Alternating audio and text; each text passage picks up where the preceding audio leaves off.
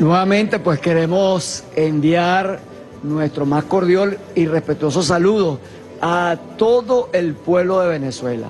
Estamos con el pecho hinchido de alegría y sobre todo de orgullo, de orgullo de nuestro glorioso pueblo venezolano. Un pueblo que cada día demuestra su profundo nivel de conciencia. El balance que tenemos hasta esta hora ha sido un balance extraordinariamente positivo, queremos decirlo, con niveles de participación muy buenos y que todavía nuestros centros electorales en distintas partes del país, ahí está nuestro pueblo. Nuestro pueblo, ¿verdad? Eh, cumpliendo con ese eh, sagrado deber y derecho de ejercer el voto para escoger a los hombres y mujeres que lo hemos dicho. Consideramos que son los espacios de mayor importancia, concejales y concejalas, porque son los que están allí directamente. Hace rato escuchamos a nuestro presidente, nuestro comandante presidente Nicolás Maduro, dándole la relevancia y sobre todo en una nueva etapa, donde el concejal, la concejala, bueno, va a estar ahí gobernando de la mano con los consejos comunales, con las comunas, y así lo ha asumido el pueblo, y muy particularmente con dos grandes protagonistas, como es la juventud, donde tenemos un 40% de jóvenes que están participando. Insistimos en esta cifra importante de 18.874 postulados, también el 50% son mujeres, donde se garantiza la paridad y donde se garantiza también desde el punto de vista que en el caso de que exista una postulada que sea principal, pues el, suplente será un hombre y así viceversa. El evento todavía está en plena marcha, el pueblo demostrando una vez más su profunda vocación democrática, respaldando este hermoso proceso que una vez más deja ante los ojos del mundo lo que se vive en Venezuela, una verdadera democracia participativa y protagónica. Todavía, pues de acuerdo a lo que está establecido en la norma, existen electores en los distintos centros electorales, así que no bajemos la guardia. También queremos desde aquí, desde ya, enviarle un reconocimiento y una felicitación a nuestra gloriosa red de articulación y acción sociopolítica, la RAS, a esas jefas y jefes de calle, a esas jefas y jefas de comunidad de VC que han desarrollado un extraordinario trabajo, esperando pues que en este caso el ente rector, a quien también felicitamos, nuevamente el Consejo Nacional Electoral coloca a su disposición todo un gran esfuerzo para que se manifieste la voluntad popular. No podemos dejar a un lado también el reconocimiento a nuestra Fuerza Armada Nacional Bolivariana, que una vez más garantiza la seguridad para que el pueblo, bueno, pueda ejercer el derecho al voto. Así que, bueno, insistimos, pueblo de Venezuela, todavía estamos en actividad en distintos centros electorales. Esperemos hasta que el Consejo Nacional Electoral pues no se pronuncien, vamos a seguir trabajando muy duro, demostrando que el pueblo de Venezuela quiere paz, que el pueblo de Venezuela construye, ¿verdad?, su futuro a través de la participación y del protagonismo y no bajo la imposición de ningún imperio o alguien que nos venga a dar instrucciones. Esto es un pueblo que a través de la democracia tiene su capacidad de autodeterminación. Estamos a la orden para los medios de comunicación, para cualquier pregunta que tengan bien hacer. Buenas noches, iniciamos la ronda de preguntas y la primera la efectúa Jordana Chacón por Venezolana de Televisión. Buenas tardes. Eh, quisiera conocer si se han reunido con los observadores nacionales, a ver cómo han catalogado ellos el desarrollo de este proceso electoral. También quisiera conocer eh, cómo están los testigos de mesa, son más de 90 mil que están siendo acreditados por el Gran Polo Patriótico, ya estamos a pocos minutos de cerrar el proceso, quisiera saber si están ya en los centros electorales. Y finalmente también lo que es la operación en remate, si tienen algún balance de lo que es ese llamado que se hizo a partir de las 3 de la tarde, a pocos minutos ya de finalizar este proceso. Gracias. Sí, son tres organizaciones que están como observadoras nacionales, pues han ido cumpliendo su tarea. Y no solamente, yo creo que el gran observador de este evento es el propio pueblo, ¿no? Donde un evento que hasta el momento, todos sabemos, gracias a Dios, todo se ha desarrollado dentro de lo que son los parámetros normales, pues incidencias que se pueden presentar con máquinas, para eso hay un protocolo, el proceso se desarrolla dentro de los parámetros de la normalidad. La maquinaria está desde las 4 de la tarde en operación remate con el 4x4 y en este momento le estamos metiendo la mocha para que sigamos trabajando y lograr unos resultados que van, que estamos estimando, no podemos decir cifras en este momento, pero de verdad nos sentimos eh, muy contentos porque estimamos unos resultados que una vez más van a demostrar lo glorioso que es el pueblo Venezuela. Me hacías otra pregunta, ¿cuál era?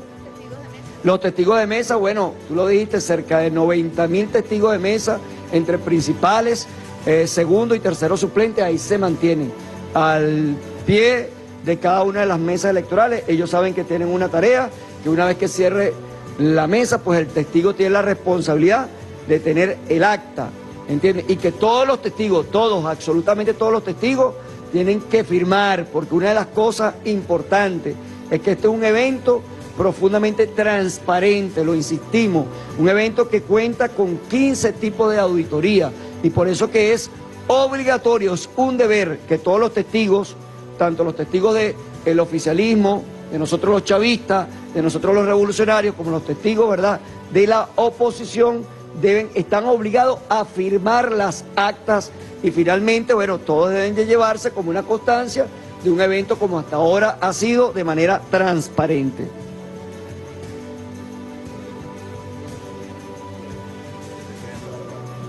Es importante también, gracias, mi mayor Pedro Carreño, quien es responsable pues, del comando de campaña en el tema de los testigos, también aparte del acta hay un proceso que está establecido pues, dentro de lo que es la auditoría, que es la verificación.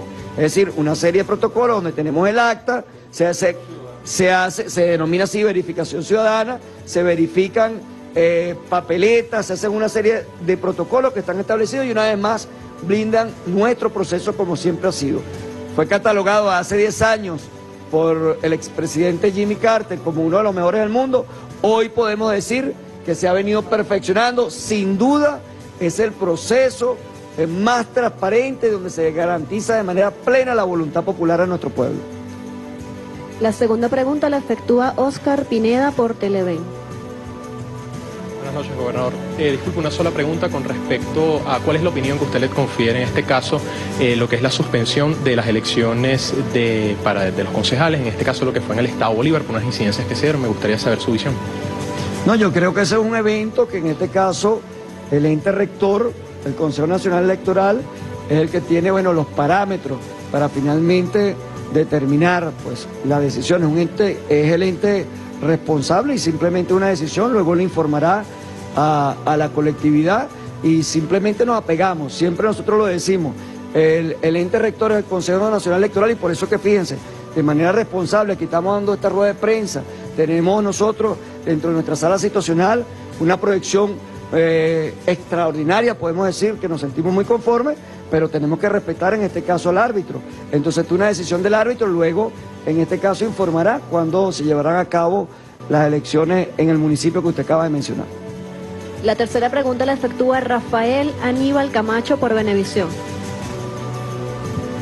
Buenas tardes, alcaldesa, constituyentes, ministro Piñate, gobernador. Eh, mi pregunta va enfocada precisamente a la observación internacional. Eh, el cuerpo de expertos electorales de Latinoamérica que está acá en Venezuela y una delegación de Bélgica también, precisamente sí esperan reunirse para eh, ver las, digamos, todo lo que han, el trabajo que han hecho luego del proceso electoral, reunirse con ellos para ver las observaciones. Y otra, otro podría, otra cosa podría ser Luego de la verificación, ya ustedes están listos para, para eh, el nivel de participación. Ya para, ¿ustedes están satisfechos con el, con el nivel de participación que ha habido este domingo?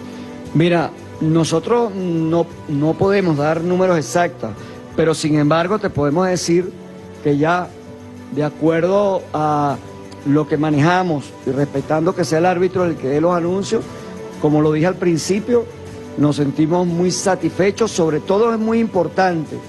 Al final, pues, no faltarán quienes busquen hacer comparaciones que no vengan al lugar, sino comparando condiciones similares. Hoy te puedo decir que nuevamente el pueblo de Venezuela ha sido ejemplo, no solamente para acá, para los que habitamos en esta patria sagrada, sino seguimos siendo ejemplo para el mundo entero. Muy buenas noches. Después de un día tranquilo de civismo, de ejercicio de la democracia en Venezuela, una vez más el pueblo de Venezuela se ha pronunciado, ha expresado su voluntad, su voluntad a través del sufragio, a través del voto, decidiendo como siempre, como quiénes van a ser o quiénes son de ahora en adelante sus representantes, en este caso a nivel local.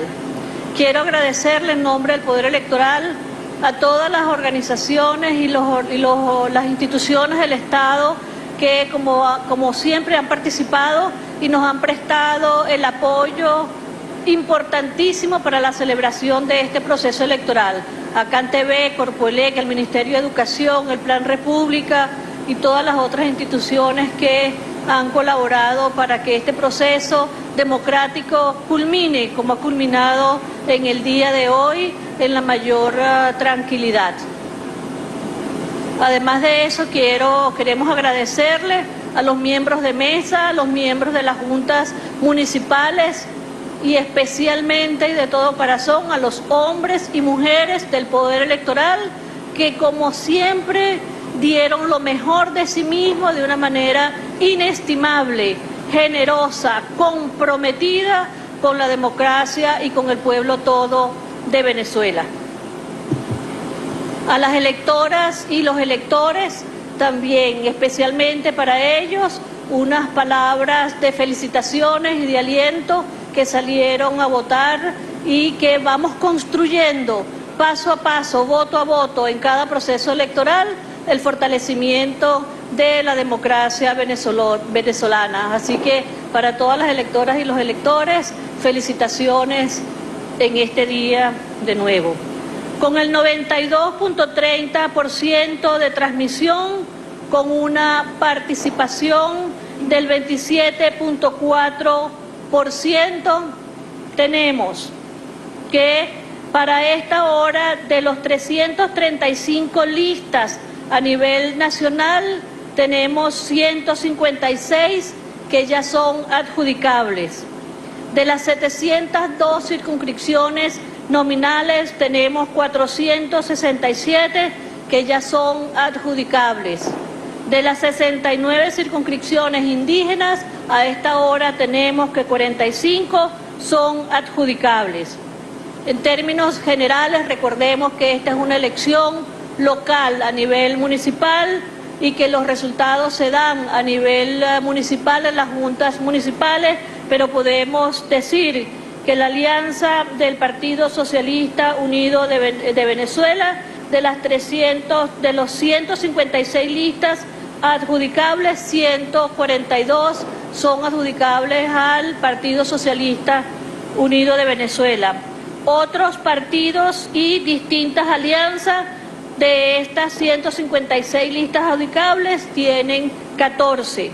De los cargos nominales, de los 467 cargos nominales adjudicables, 449 son para el Partido Socialista Unido de Venezuela y para otros partidos y distintas alianzas tenemos 18 cargos de nominales adjudicables. A partir de este momento se autoriza a las juntas municipales para que procedan a la adjudicación de estos cargos y sucesivamente los cargos que vamos a ir liberando a partir de este momento.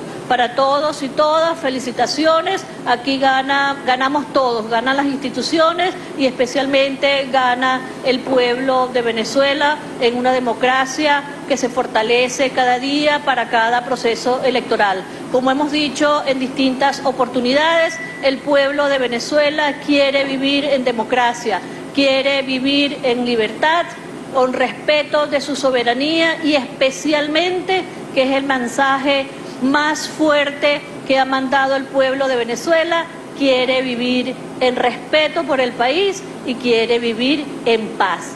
Muchísimas gracias, buenas noches.